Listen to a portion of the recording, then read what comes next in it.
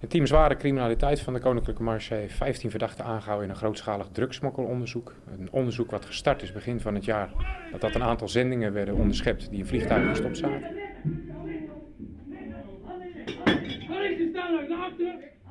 En we zijn uiteindelijk bij de 15 verdachten gekomen die nu vastzitten.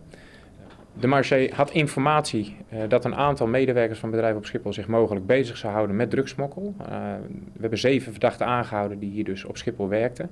Uh, de informatie die hier vanuit onder meer de meldkamer Schiphol van de Marge wordt gestuurd, is bekeken door het rechercheteam.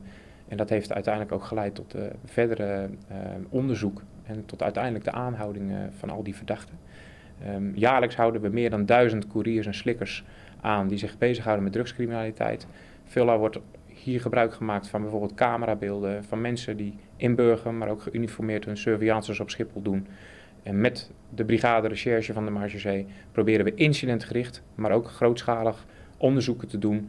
En zoals in dit onderzoek een crimineel samenwerkingsverband ontmantelen, dat je niet alleen de courier, maar ook de organisatie pakt. Dat is uiteraard een krent in de pap voor de Marge